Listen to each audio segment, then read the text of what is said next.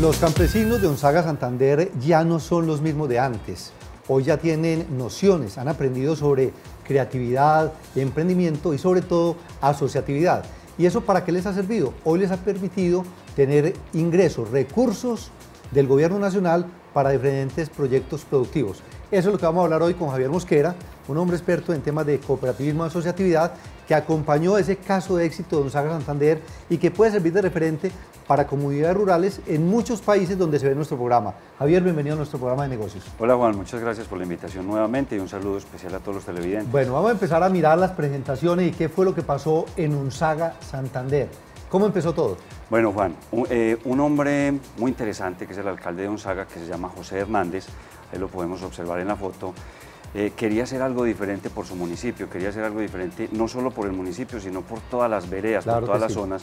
Entonces comenzó a inquietarse con sus campesinos, juntas de acción comunal y sus 39 veredas. Y quiso comenzar con un proyecto diferente para poder jalonar recursos de nuestro gobierno, recursos del Ministerio de Agricultura. Sí. Entonces empezamos a hacer un recorrido muy especial. Lo primero fue entonces entrenamiento para todas las personas, capacitación.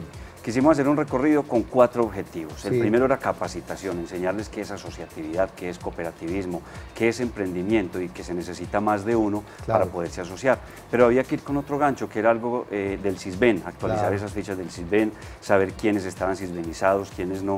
Había otro objetivo también de enseñarles a asociarse, pero también llevarles un producto, donde él les llevaba 10 plántulas para que sembraran. Porque, por ejemplo, aquí estamos viendo algunos de los productos que son típicos de la región.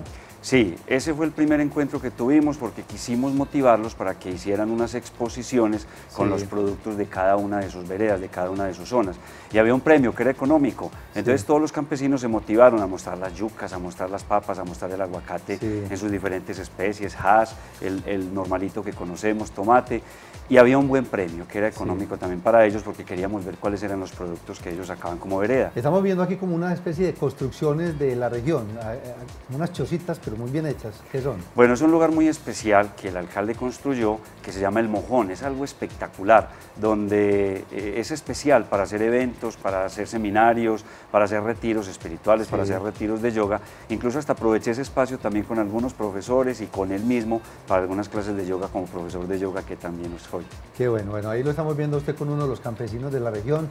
A ver, eh, Javier, es muy importante que la gente que nos ve en diferentes áreas rurales sepan de ese programa del ministerio que existe, es el Ministerio de Agricultura, en donde cuando ven proyectos eh, tangibles, realizables, alcanzables, pues además hay dinero de por medio. contemos sobre eso. Bien, pregunta bien interesante, Juan. El programa se llama Oportunidades Rurales y viene directamente desde eh, Agricultura, desde el Ministerio de Agricultura, donde quienes quieran participar en ese programa tienen que estar constituidos y fue la primera tarea que tuvimos nosotros con nuestros campesinos, enseñarles a legalizarse, a crear su, su representación legal, a registrarse en Cámara de Comercio como Junta de Acción Comunal. Y luego de estar ya constituidos y estar listos, seguía ir a presentar su proyecto, qué es lo que hace su vereda, qué es lo que hace su, su, acción comunal, qué hace su gente. Entonces encontramos proyectos interesantes, encontramos productos interesantes mm. donde algunos campesinos se reunían y mostraban aguacate, algunos se reunían y mostraban frijol, algunos se reunían y mostraban ahí maíz. estamos viendo uno que está mostrando el maíz precisamente, ahí lo está exhibiendo. Claro, eso está muy bien. Entonces, de esos proyectos que se presentaron después de haber recibido la capacitación en asociatividad y cooperativismo, pasaron cinco proyectos. Y cada uno de esos cinco proyectos recibieron 40 millones de pesos, que es, eh, Juan, algo bueno que yo tengo que decir siempre, tenemos que ser gratos con nuestro país, tenemos que ser gratos con lo que recibimos. No podemos estar hablando mal de nuestro gobernador, de nuestro alcalde, de nuestro presidente. Tenemos que mirar las cosas buenas que hay y hay muchas. Y aquí te voy a tocar dos temas bien interesantes. Uno, esta parte de los proyectos productivos campesinos, donde es un apoyo de 40 millones de pesos y vienen más y hay más proyectos que este municipio nos acaba de presentar. Hay otro proyecto que me parece interesante eh, que viene realizando eh, las cajas de compensación, que es la ejecución de unos presupuestos del FOSFEC, donde anteriormente las personas recibían un subsidio por desempleo. Hoy no, hoy ya no reciben ese dinero eh, en plata, ya no es plata, ya simplemente es capacitación. Diplomados completamente gratis, diplomados donde reciben su transporte, donde reciben también su refrigerio. Entonces son cosas buenas, tenemos que ser gratos con lo que recibimos de nuestro país, de nuestros gobernantes. E inconformes con situaciones, pero lo que sea inconforme, ayude, esté ahí ayudando cómo puede solucionarlo. Y hay proyectos, Javier, que también tienden a mejorar todo el tema de la conciencia del cuidado ecológico, el cuidado del medio ambiente, como el tema de los fogones, las estufas, ¿cómo es eso? Bueno, hay una empresa que se llama Natura que también me llamó mucho la atención en este recorrido que hacía nuestro alcalde con su asistente eh, Beatriz Elena Mariño, donde iban a todas las veredas y hacían un inventario de qué familias estaban cocinando en Tres Piedras, Juan, porque todavía en Colombia tenemos familias que están cocinando en fogón de piedra. Y las señoras de la casa y los señores están recibiendo todo ese humo, están recibiendo todo ese problema para sus pulmones. Claro.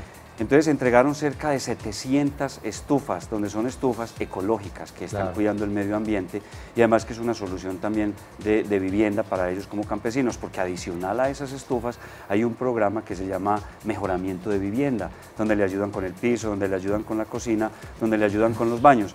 Y me parece muy interesante para nuestros campesinos eh, e, este apoyo que están recibiendo y tampoco acostumbrarnos a, a, esperar que nos va a dar el alcalde de turno, que nos va a dar el presidente de turno, no. También el taller de emprendimiento, de creatividad, de cooperativismo, les enseñó cositas con la entrega de esas plántulas. Exacto, ese tema de las plántulas yo quisiera que, que lo ahondáramos muchísimo porque creo que es un gran aprendizaje.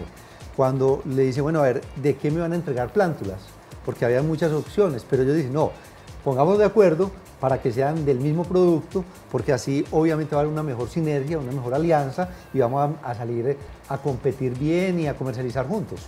Bien, luego de que esas cinco veredas o juntas de acción comunal hubieran quedado seleccionadas con esos 40 millones de pesos como recursos, hicimos un recorrido por las 39 zonas, por las 39 veredas, llevando un regalo para cada familia. Y ese regalo para cada familia eran 10 maticas, pero no las llevamos, simplemente fuimos a hacer el inventario ¿Qué mata quieren ustedes? O tomate, o aguacate, o variedad de frutas, ¿cierto? Árboles frutales. Y luego de recibir el taller de asociatividad y cooperativismo, nos llevamos una sorpresa grande, que las personas aprendieron a asociarse y pidieron para sus veredas y para sus familias la misma, eh, la misma especie. La misma especie, porque es que no es lo mismo vender un aguacate que vender mil aguacates, cinco mil aguacates.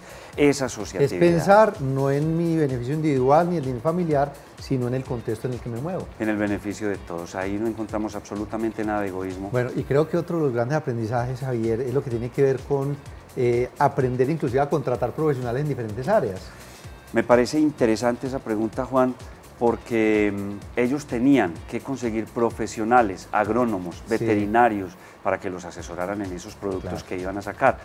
Con ese premio que recibieron, con esos 40 millones de pesos, ellos aprendieron a contratar profesionales, a saber cuánto es el salario de un profesional y a recibir una asesoría técnica especializada de ellos en cada una de sus fincas. Sí.